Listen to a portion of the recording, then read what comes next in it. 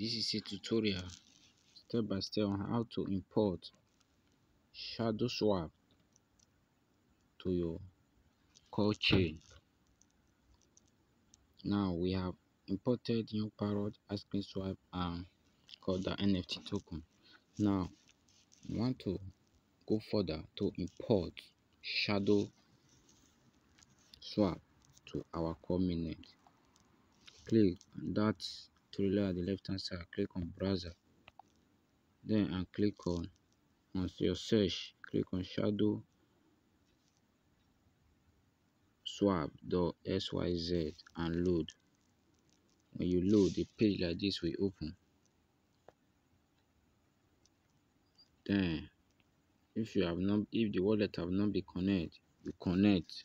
Let me disconnect and reconnect again. You see it will be showing connect now all you have to do is to connect to your current to your metamask. When you connect it to your metamask yes it has give you your metamask signal. Now core is the default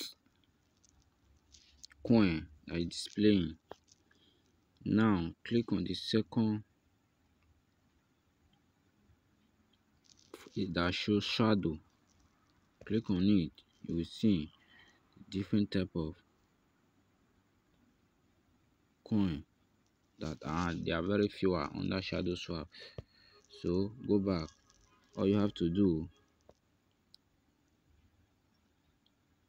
if you want to buy you can use your core to swap this shadow swap. Since we don't want to swap now let's connect our shadow swap to our metamask under CoreDAO mainnet now click on that metamask head.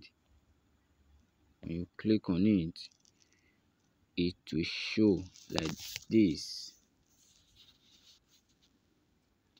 To show add token.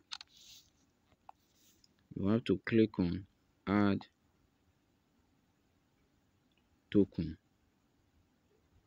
That means token will be successfully added to your metamask now let's go back and check if shadow swap have been imported to our